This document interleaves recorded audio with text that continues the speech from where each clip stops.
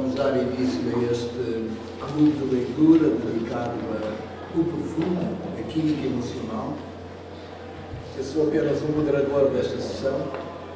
Tenho aqui à minha direita a Vera Mata, que é engenheira da FEU, doutorada na FEU, e também empreendedora, que após aqui um pós-doc, que iniciou esta área desde a minha criou a empresa Essências,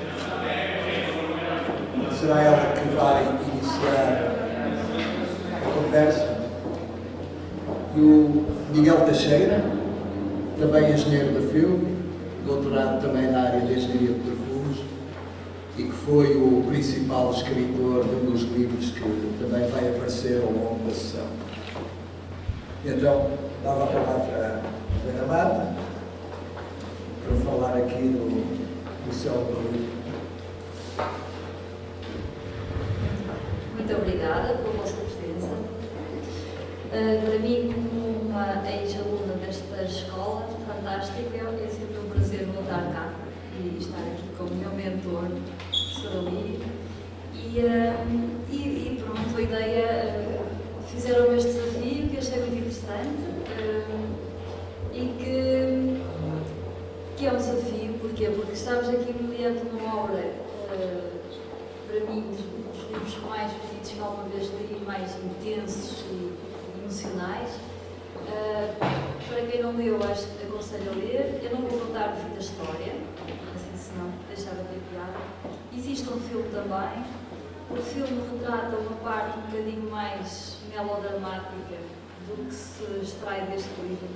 A parte mais do, do assassino, do Renan Will, que é a personagem principal toda esta história uh, que, é, que acaba por ser alguém também é visto como um assassino, daí se chamar a história de um assassino. Mas ele é muito mais do que isso e ele transmite muito mais emoções do que, do que essa parte mais macabra. Uh, de qualquer forma, o filme também é aconselhável. Eu tenho aqui um pequenino extrato, são mesmo muito pequeninos segundos, uh, para vos mostrar.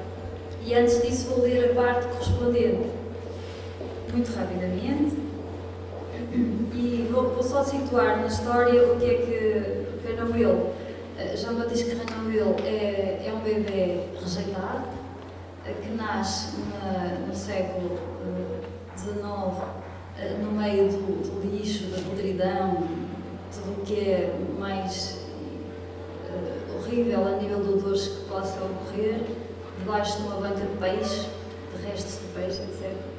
E, e ele é uma pessoa que é especial, porquê? Porque não tinha odor.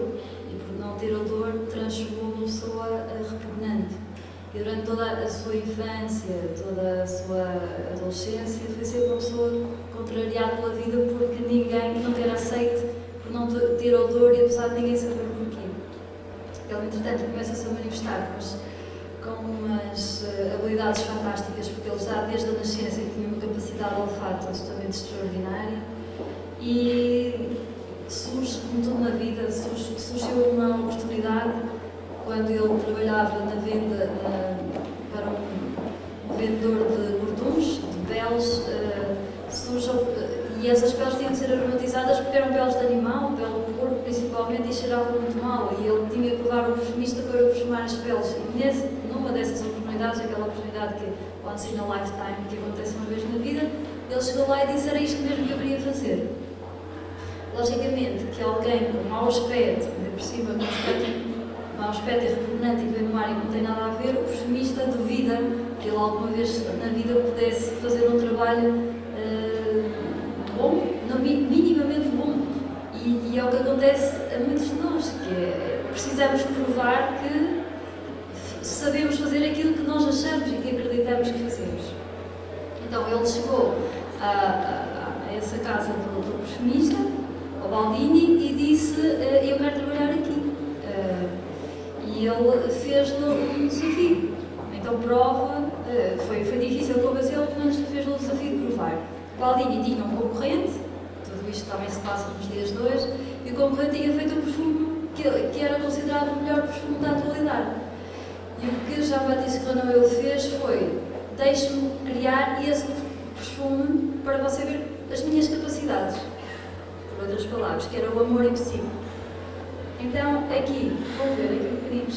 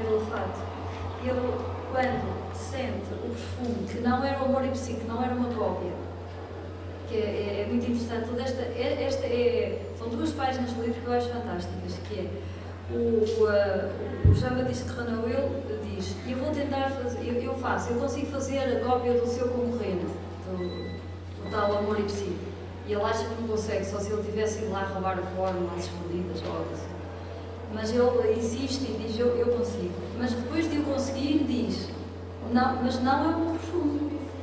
Este perfume tem uma má composição. Ele fez igual, primeiro provou que era capaz, fez igual. E depois disse, se me permite, mestre, vou melhorá-lo. Deu um minuto e faça um perfume perfeito.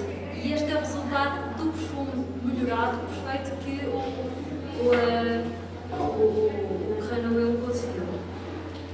Quando o perfumista cheira, e, vê-se esta imagem no filme, dois segundos, uh, o livro diz: Baldini fechou os olhos e sentiu-se invadido pelas mais sublimes recordações. É exatamente isto. Isto é que é perfume, é química emocional. O perfume é, é nada mais do que emoções. Nós, quando sentimos um perfume, apela-nos a algo. Pode ser positivo ou negativo, mas temos sempre essa emoção à. Uh, Viu-se ainda novo, a atravessar de noite os jardins de Nápoles, viu-se nos braços de uma mulher de caragóis negros e divisou os contornos de um ramo de rosas no parapeito e uma janela, acariciado pela brisa noturna.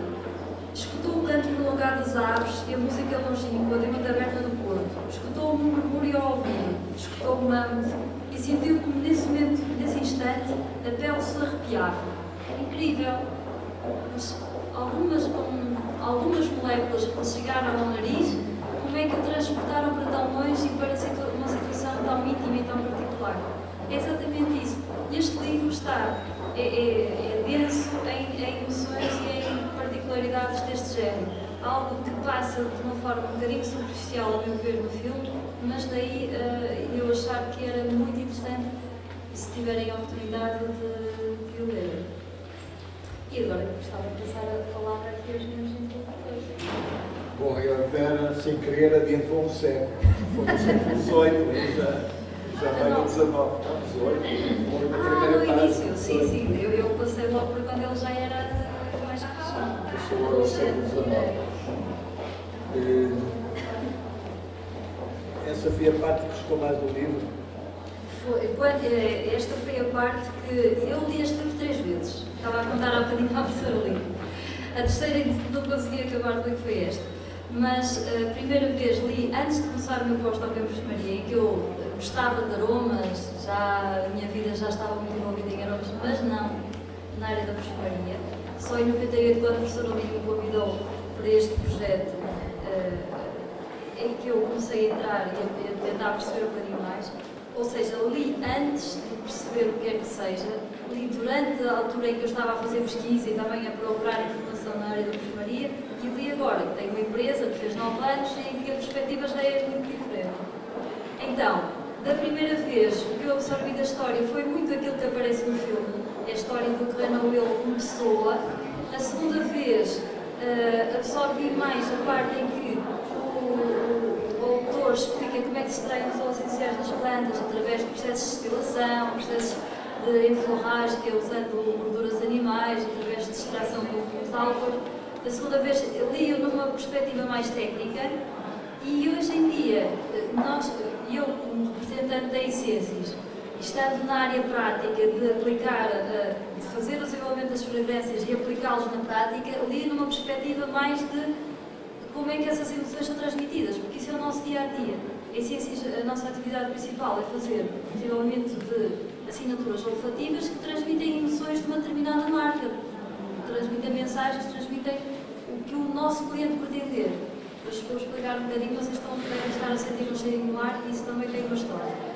Eh, por isso, esta, esta forma que eu li, li mais uh, intensamente na parte das emoções. E aí já concordo com o Sr. Que a parte do início é uma parte muito interessante. Porquê? Porque ele, o João Batista Canoel, desde que nasceu, desde que foi encontrado, uh, despojado, debaixo de uma, de uma mesa de uma peixeira que era a mãe, já tinha, tinha tido três gordos ou algo assim, queria era que ele fosse juntamente com os restos do peixe para o lixo, porque era, era muito jovem e não tinha condições para criar a criança.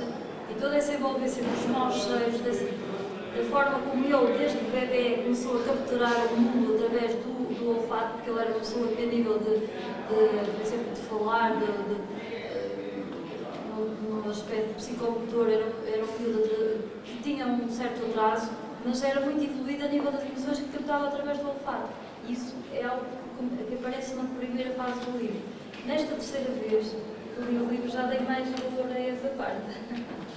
Mesmo a parte dos maus cheiros. Agora, ao passar aqui para o Miguel Teixeira, eh, depois eu também marquei aqui umas coisas no livro que, que anotei, que me chamaram a atenção, mas a que me dá, que me relaxa mais, é esta passagem do, do Grimal, que era o que vendia as peles.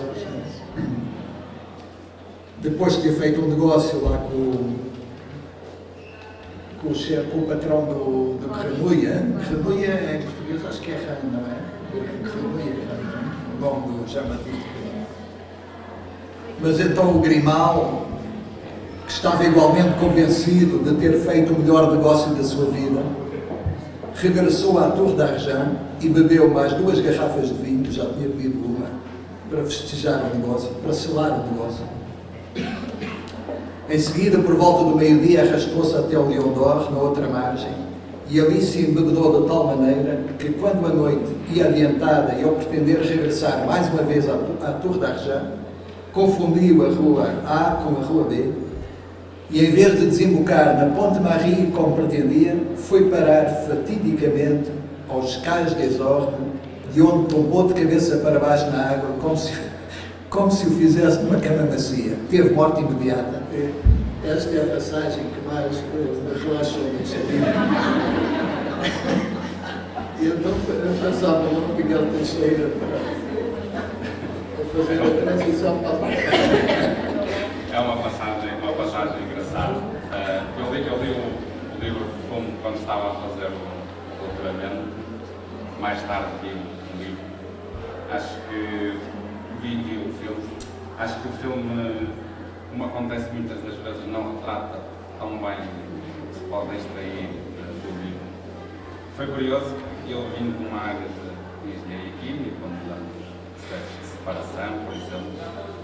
Foi curiosamente neste livro que encontrei uma, uma das maneiras de extrair as fragrâncias, os locais, eh, que nunca tinha encontrado em artigos ou, ou em livros que tivesse lido sobre essa matéria, coisa que foi exatamente para, a.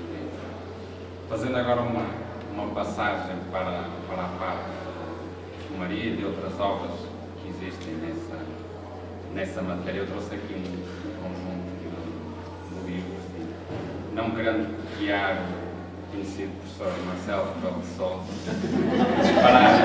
disparar, uma série de livros, eu vou tentar fazer uma pequena introdução sobre, sobre a maior parte deles, alguns que me dizem mais, outros que me. Começaria talvez, se calhar, por, por esses que me dizem mais.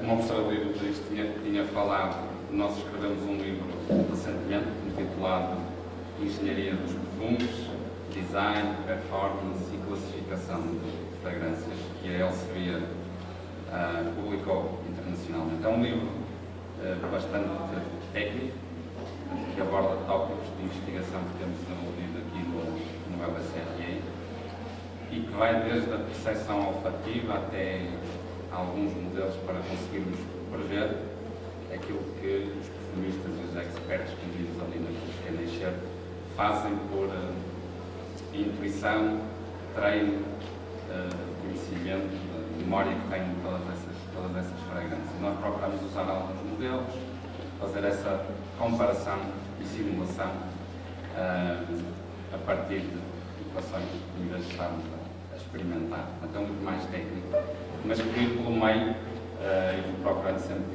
introduzir algumas partes mais genéricas para que o público possa também conseguir acompanhar tanto a história de, do desenvolvimento dos perfumes, como a indústria das fragrâncias, como alguns detalhes como é que o nosso nariz secciona as fragrâncias, enfim, abordamos diferentes tópicos. Um outro, um outro livro que eu trouxe aqui um, também está um pouco ligado a, nós, enquanto investigadores.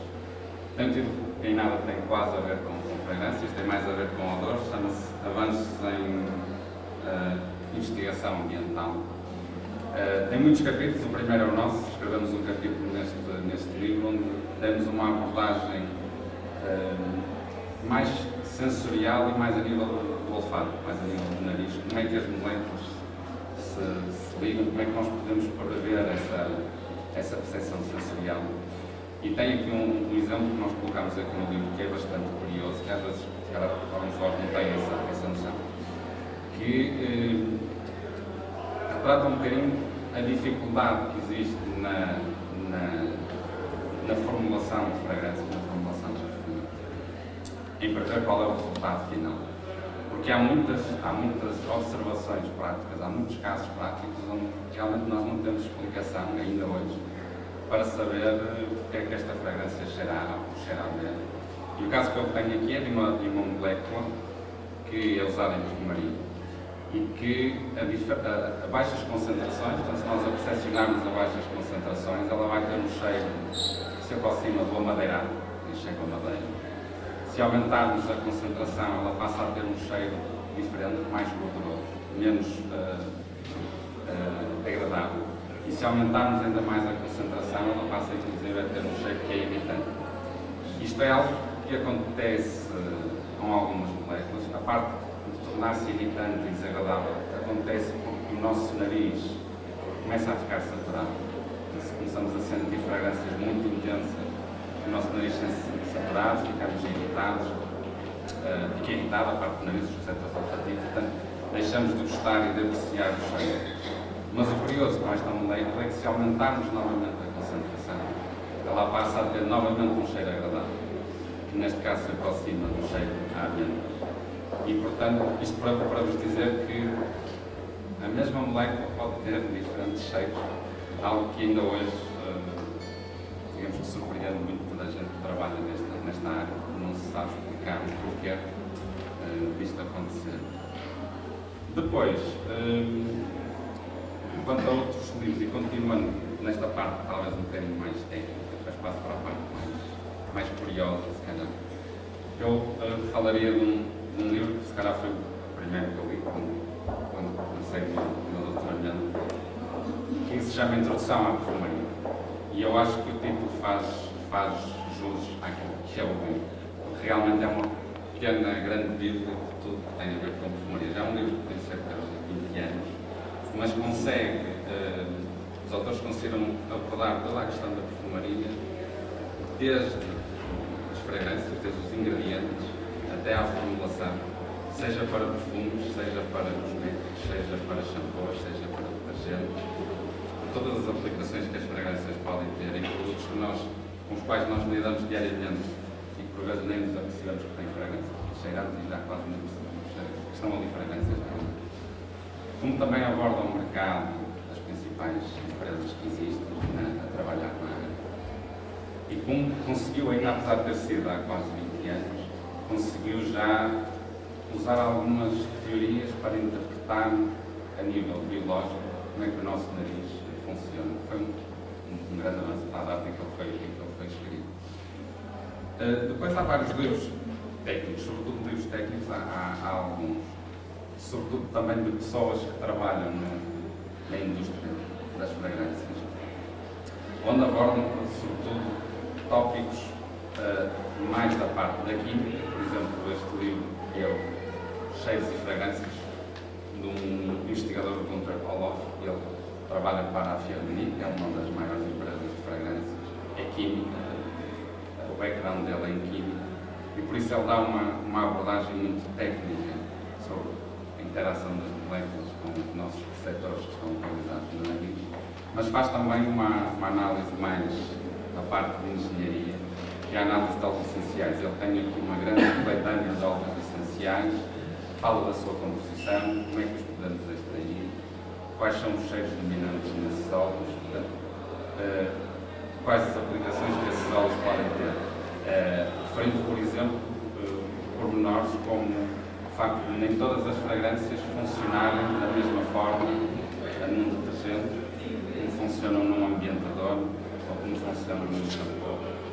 Tudo isso tem que ser muito bem estudado pela indústria para que no final o produto seja aquele que seja agradável para o consumidor.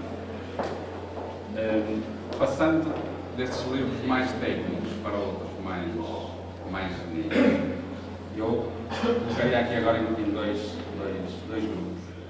Uh, dois deles, este pequenino que está aqui, um livro de bolso, de John Bowles, e este que é o Guia dos Perfumes, do Luca Torini e da Tânia Sanches, são livros de pessoas que sempre gostaram muito de fragrâncias.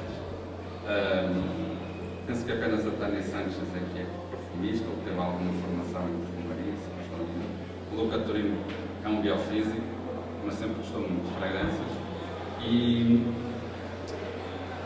e eles, nestes dois livros, o que fizeram foi juntar notas que foram tomando ao longo da vida sobre. Trabalhavam perfume numa loja, cheiravam, tocavam no papel, escreviam algumas notas sobre esse perfume. O Luca Turini, por exemplo, até faz uma. dá-nos umas estrelas, de 1 a 5. Uh, pode acontecer, ele usa alguns perfumes, alguns que têm nota zero, ele não gostou mesmo deles outros têm nota 5, e faz a classificação desses perfumes em famílias, portanto, se o perfume é mais floral, se é mais oriental, se é mais amadeirado.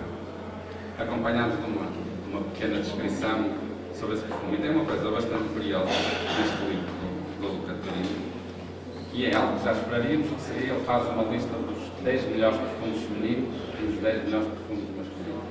Mas vai mais longe do que isso. Ele chega aqui ao final e tem os melhores perfumes masculinos para as mulheres e os melhores perfumes femininos para os homens. E isto é um tópico, é um tópico engraçado, porque, bom, todos nós sabemos que, acho eu, uh, gostamos de apreciar um ou outro perfume que a mulher ou o marido usa. No entanto, nós não compramos para, para uso pessoal. E se calhar tem um bocadinho a ver com, com a cultura que, que a indústria criou. Quando nós entramos numa loja perfumes, é, normalmente é muito fácil sabemos onde é que estão os femininos e os masculinos. Os femininos estão de um lado, os masculinos estão do outro. Portanto, nós já nos, já nos direcionamos para onde, para onde podemos ir. Mas acontece que nos últimos anos tem começado a aparecer mais e mais perfumes que são chamados perfumes unissex.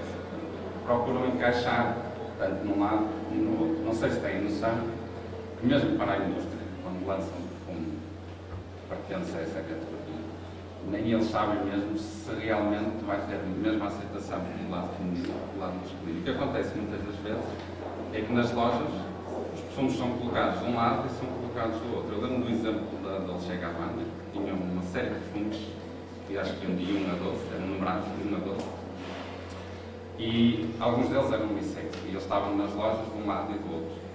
Acontece que as lojas depois começam a reparar que as vendas ou são maiores do lado feminino são maiores do lado masculino e, portanto, acabam depois por direcionar os perfumes mais para um lado ou mais para o outro.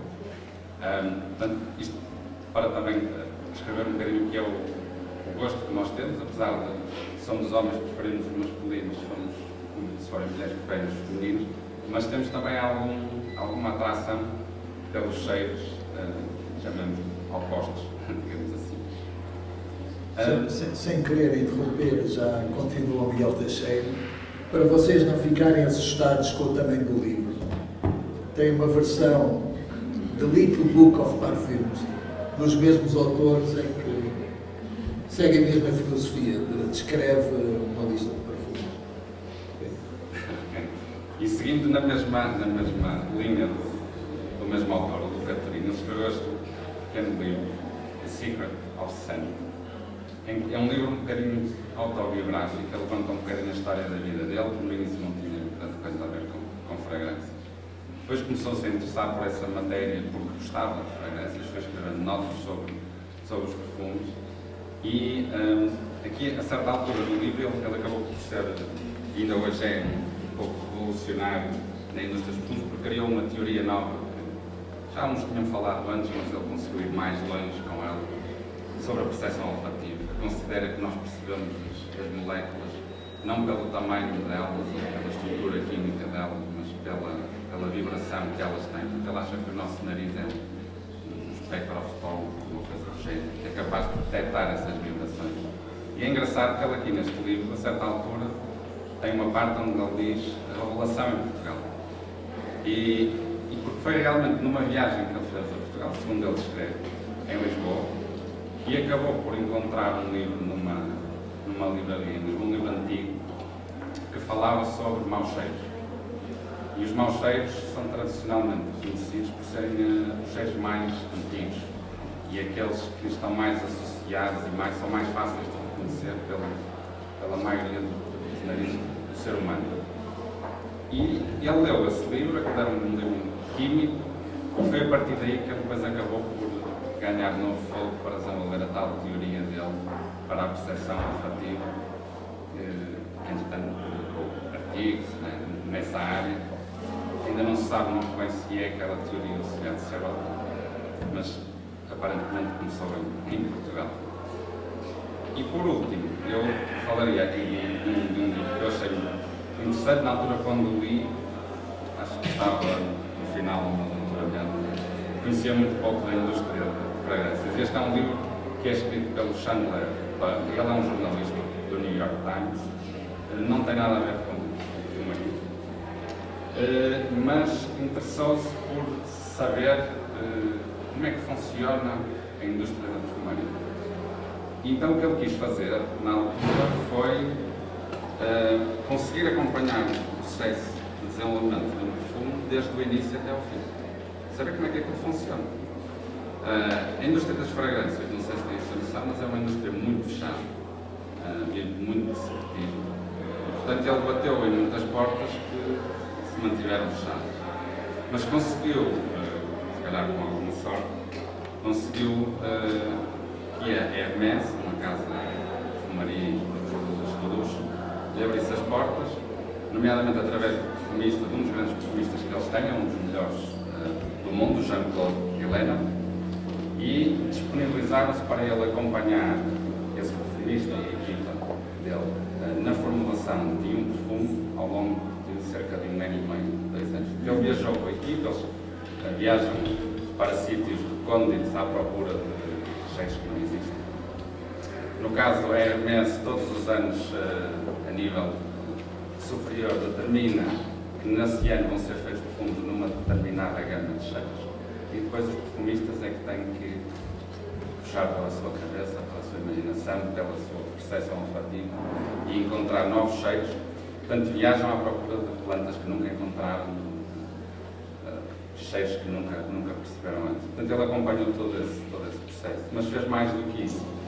Foi para o outro lado do Atlântico e eh, encontrou uma, uma celebridade, no caso foi a Sarah Jessica Parker, que queria lançar e então associou-se a ela e durante também cerca de dois anos, mais ou menos, acompanhou todo o processo, desde a entrevista inicial que, no caso, a Sara teve com, com todas as empresas de fragrâncias, até se chegar à fórmula final, tudo isso demora muito tempo, há muitas entrevistas, há avanços, há e ele escreve tudo isso neste livro. É interessante para se perceber quanto custa e quanto demora a fazer, demora algum tempo, alguns E também a competitividade que existe entre as diferentes empresas para se conseguirem ganhar as fórmulas que depois os clientes um, por isso aconselho vivamente a, a leitura também deste, deste, livro e passo a palavra ao professor Lírio. É, ainda vamos depois dar a palavra à Vera Mata, que é a pessoa que no dia a dia eh, procura ganhar a vida usando eh, perfumes. Eh, nós aqui só procuramos investigar novas áreas tentar aproximações com essas grandes empresas de, de perfumaria, por vezes com sucesso, outras vezes sem sucesso, mas isto demora muito tempo. É? Também há aqui uma coisinha em português que eu descobri que tinha não, há muito tempo, o ABC do perfume foi publicado pelo público, do jornal, uh, jornal Público. Então dava a palavra agora à Vera para dizer últimas palavras? vamos voltar ao perfume, que é, que é o motivo da questão. Depois destas sugestões restantes, que eu também aconselho, já não conheço todas, Miguel tem responsabilidades, mas eh, voltando agora ao perfume, eh, fazendo aqui eh, algumas analogias com o que ele disse, de facto, os perfumes também são muito culturais. Uh, também tem muito a ver com as, as intensidades e, e, vocês, uh, ao ler este livro, vão encontrar principalmente parte, essa parte das intensidades. Este livro consegue falar, se quiserem também saber um bocadinho mais, porque o, uh, o autor, o Patrick Susskind, ele viveu algum tempo na Provença, no sul de França, e daí também ter o livro tem uma parte técnica e muito bem explicada, está feita de uma forma em forma de romance, mas uh, ele explica lá como é que se extrai o essencial das rosas, como é que se extrai o jasmim, à época, e vai por épocas do ano em que as plantas estão a florir. E por isso ele explica com o processo do enflorrage, que é retirar as, as, as flores que têm menos quantidade de óleo essencial e que o óleo essencial é muito sensível à temperatura, tem que ser retirado no frio Normalmente usa-se uma tecnologia que se chama enforragem, que é a extração usando gorduras animais, em que se coloca pétala a pétala e as pétalas têm que ser recolhidas antes do nascer do, do sol, antes da temperatura aumentar, é quando a concentração pensa na flor. Então ele explica todo esse processo como é que se faz, porque o, o Reino ele pediu ao perfumista, se recordam deste extrato do filme, explique-me como é que eu posso conservar os odores. Então o livro fala muito, até tem alguns dados bastante técnicos a falar dessa questão. E, uh, e por isso pretenderem também ter alguma informação técnica de uma forma mais leve, podem não encontrar no livro profundo. E vou ler aqui o pedido extrato que fala de que o Miguel falava que há moléculas que são agradáveis, mas se forem, se tiverem uma intensidade muito alta, tornam-se agradáveis. Uh, ele fala aqui no caso de essência absoluta. Uh, toda a pomada, ele chamava pomada quando retirava o, excedente, o óleo essencial da, da gordura eh, trazida da carne, cuidadosamente eh, reaquecida nos recipientes fechados acrescida de um espírito de álcool. Eu depois tirava, depois do óleo essencial passar para a gordura, eh, há, há, um processo de extração com, com álcool.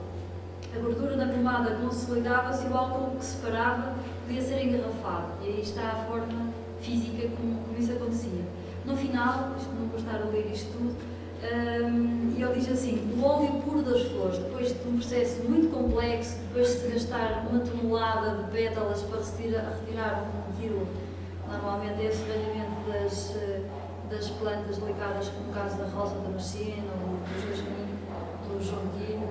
Uh, este é o rendimento que é 0%. Uh, e ele diz: o óleo puro das flores, é, é, para mim, é das frases mais bonitas do livro, eu citei, aliás, a Paula citou na tese e eu de facto gosto muito desta frase. O puro das flores, o seu perfume nu, cem mil vezes concentrado, para proporcionar umas gotas de essência absoluta. O odor desta essência nada conservava de agradável. Era um odor forte e intenso, quase doloroso. E, no entanto, bastava derramar uma gota no líquido de álcool para lhe dar nova vida e ressuscitar um campo inteiro de flores. Isto, isto, de facto, isto é a base da, da perfumaria. As essências eh, são, são matérias-primas muito concentradas, tanto naturais como naturais idênticas, como sintéticas, são muito concentradas e, e quando são percepcionadas concentradas, eh, muitas vezes não se tem a verdadeira noção da riqueza dessas, dessas matérias-primas. Isso era uma das coisas que queria falar. Outra, a parte cultural. A parte cultural, já agora falando aqui. Uh, bocadinho de, de algumas uh, experiências que tive enquanto, enquanto uh, investigadora do, do LSRE e, e, conhecendo pessoas de muitas culturas, incluindo chineses. Há uma, há uma situação curiosa que nós, nós tivemos, passamos, o professor teve alunos chineses, indianos, estónios, todas as partes do mundo. E, e nós sentíamos que havia pessoas que tinham valores diferentes. É, e vocês também devem ter essas experiências. E, e, temos um caso particular de uns chineses, uns, dois chineses, o, o, o nosso o Xiu, o Xiu já foi mais tarde. É, é um bocadinho lembrar, eles tinham todos assim como nós tínhamos, os nomes eram todos, mas havia dois chineses. Ah, tá. O Nan e o Nan e o outro. O Sul? O Sul. Não, o Sul já era. O Sul. Mas era o Nan, na altura do Nan, eram dois, eram dois chineses. E nós achávamos, eles, eles faziam experiências à noite e costumavam trazer uns colchões que levavam para o piso de cima, ainda estávamos na, na, na, na faculdade, e, de, e deixavam lá os colchões junto à cromatografia cooperativa e deixavam as experiências a correr durante a noite e dormiam lá. De manhã havia pessoas que trabalhavam lá, que era a Paula e a Susana, e era um cheiro assim um bocadinho desagradável. desagradável, eles dormiam lá, no lá e eu, eu fui uma altura que, muito engraçada, que eles estavam, estávamos numa conversa, uh, conversa de café, e que eles e disseram-nos duas coisas que achavam muito curiosas, que é, primeiro, nós estávamos num grupo de raparigas, uh, todas a, conversar, e eles viraram-se para nós e disseram Diz-me o teu nome, digam, digam os vossos nomes, vocês são todas iguais. Quando nós olhamos para as crianças, achamos que eles são todos iguais, mas nós que não éramos iguais, todas completamente. E outra coisa que ele foi muito engraçado é que nós tínhamos um autor. E nós, na altura, ficámos assim um bocado para as mandar este tipo de coisa aqui para fora. Mas é curioso porque, mais tarde, vinha ler, penso que foi até neste, num dos livros que o Miguel mostrou, que de facto uh, os orientais, pelo facto de, de, consumirem poucos produtos lácteos, que têm uma percepção má dos odores dos ocidentais. Nós tomamos muito leite, muitas gorduras animais e principalmente laticínios. Então eles têm uma má percepção dos nossos odores. Outro exemplo, pessoas da Índia, pessoas da Índia, os indianos têm, têm o hábito de comer muitas especiarias. Então o seu odor é sempre muito mais forte. Então, nós tivemos situações particulares no laboratório em que de facto nós percepcionamos as pessoas pelo, pelo seu odor corporal e lá está essa parte também cultural e tem muito a ver com aquilo que nós ingerimos para, para, para, para, nosso próprio, para nós nos manifestarmos como seres humanos com um odor próprio, ao contrário do que acontecia com o Outra coisa gostava de referir é, logo no início, e eu tenho aqui, vocês sentiram este cheirinho do ar, já agora falando também da, da analogia entre a, a minha atividade diária e, e, os, e esta, esta parte da química emocional. O que vocês estão a sentir é uma fragrância criada pela Essences para uma cadeia de lojas de roupa infantil que se chama Not. Not, Not. Not de Nó. A Not Kids tem, tem lojas espalhadas aí por muitos shoppings. No, no, no, norte vocês conseguem encontrar Norte Shopping e Mar Shopping. Uh, a Not Kids, quando criou a marca, uh, eles pretenderam desenvolver uma identidade olfativa. Criaram um logótipo, criaram uma imagem, criaram um conceito, mas faltava algo. E, e, e, as, e as, na altura eram duas sócias, uma economista, que viajava muito e ela sabia que ia a Paris, a qualquer grande marca de roupa infantil, qualidade e entrava e sentia sempre um cheirinho a bebê, um cheirinho diferente, sofisticado, que dava sempre uma, mais-valia à marca. Veio ter connosco antes de abrir a primeira loja, que foi na cidade do Porto, que entretanto fecharam e, e, e abriram no Macho. Acontece que eles já tinham, era uma empresa de Lisboa que contactou duas empresas na área de aromatização produtos de higienização, normalmente também tem aromatização e contactou duas empresas para, à, à procura de uma fragrância que lhe fizesse lembrar o conceito da marca. O conceito de NOT, muito rapidamente, é, um nó, é a envolvência da família. O que eles pretenderam criar na marca é produtos tudo em algodão, 100% natural, sem produtos químicos, sejam tudo hipoalergénico, etc. Mas ao mesmo tempo ser um conceito que a mãe vai lá e é capaz de encontrar uma t-shirt igual à filha consegue comprar um bolo para o filho igual ao pai, e há ali uma envolvência da família, os avós, etc. E era um em que fosse para crianças, mas ao mesmo tempo também pudesse ser usado pela mãe, ou pela tia, ou pela avó. E, eh, e então, eles fizeram essas duas abordagens e, e não correu bem. Felizmente não correu bem, vai ser próximo, eles estavam em Lisboa, contactaram as empresas de Lisboa, entretanto andaram à procura da internet e encontraram Essências. Contactaram-nos e já foi em 2007, na altura em que nós estávamos a dar os primeiros passos, pediram-nos amostras para não estarem a perder tempo, coisa que depois não fazemos, mandamos. E estivemos, uh, eles mandaram-nos um conceito, estivemos a estudar o conceito e fizemos uma amostrinha, mandamos ainda dia a seguir. Eles receberam as amostras e telefonaram a dizer precisávamos de uma reunião urgente. E, e, foi curioso, porque eu fui a Lisboa, aquilo era um loft, assim, um apartamento enorme, da Open Space, e chegamos lá, e eu cheguei lá, era, eram duas da tarde, e estava um cheiro a morango terrível, assim. E as senhoras entraram e disseram assim, olha, espera um bocadinho que vamos abrir as janelas, aqui um cheiro assim um bocadinho forte, e uma delas estava grávida, estava, estava, estava um bocado baixo. E elas disseram, olha, de facto, vocês conseguiram chegar ao nosso conceito. Esta era a mensagem que nós queríamos transmitir. E esta é a fragrância que eles vendem na loja, que se chama Purity esta fragrância que nós fizemos foi ir, ir à, à, procura da inocência que eles queriam transmitir a partir da marca, mas fugindo dos pós-tal, dos, dos morangos, tudo isso é, é evidente, é sair um bocadinho do evidente e partir para aquilo que é o conceito do bebê. E há, e há aqui uma passagem logo no início, quando o Jean-Baptiste Renouil, lembro na altura de, de destas, desta passagem que me, me à memória, quando estávamos a desenvolver esse perfume, quando o Batista Ferrano nasce, ele não tem, não tem, eh, ele não tem um dor próprio, então ninguém ninguém gostava dele. Ah, ele passava de ama para ama, ama para ama, ninguém gostava dele, achava que ele era filho de diabo, ninguém queria. E, e então ele eles levam-no uh, a uma ama, a última ama que mesmo aguentá-lo, levou um mosteiro e o, e o monge, o padre, achou que, vou escapar, achou que isto é uma dádiva de Deus, ter aqui uma criança, ele sentiu-se quase pai, e ela, e ela explicava, mas ele, mas ele precisava ser alimentado, porque ele era muito pequenino, e ele explicava, mas porquê é que tu estás a rejeitar a criança? Até aqui um, um filho de Deus, um, um inocente, porquê é que tem que dar um mal que possa estar a repugnar? E ela dizia, mas ele não cheira a bebê, ele não é normal, ele tem qualquer coisa que me repugna. E ele, ele, ele insiste com ela para ele explicar porquê, e ela diz, hum, não é muito fácil explicar, porque eles não cheiram todos ao mesmo, embora cheirem bem. Está a compreender, Sr. Padre? Os pés, por exemplo, cheiram um seixo liso aqui e quente, ou então a queijo branco, ou manteiga, ou manteiga fresca. Sim, é isso mesmo, estamos a falar do século XIX.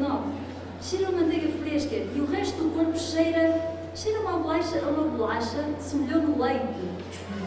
E a cabeça lá atrás, onde os cabelos formam um, um remoinho, lá padre, onde o senhor já nada tem, com as pontas dedos na careca de terrier, encheram a caramelo. Aí tem um odor tão bom e maravilhoso que não se pode sequer imaginar, padre. Quando uma pessoa cheira neste sítio, passa a malos, quer sejam seus filhos ou dos outros.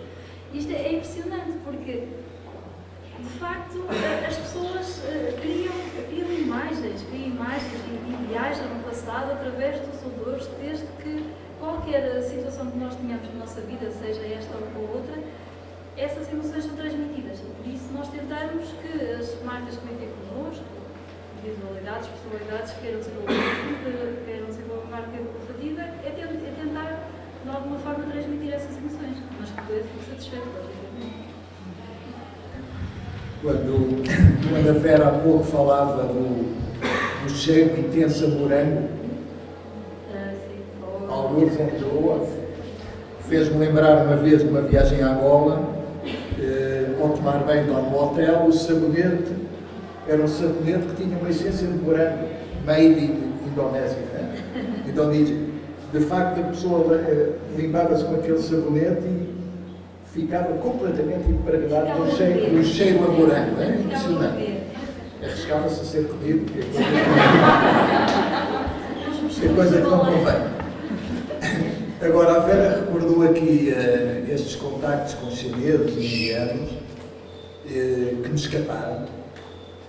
Uh, que escaparam durante muitos anos, até que aqui há um par de anos recebi queixas de vários estudantes uns que estavam, tinham um indiano ao lado e não conseguiam suportar o cheiro dele. Se calhar eles também não suportam o nosso. Mas esse era especial porque ele almoçava no lugar de trabalho e comia o caril com as mãos e então elas não. Foi a primeira queixa, e logo a seguir outro chinês, mas esse acho que não era um problema dos odores, ele não devia tomar banho há um mês e então quem trabalhava na sala dele tinha que abrir as janelas no inverno e era uma coisa insuportável. essa parte de gerir esses problemas é que é mais difícil.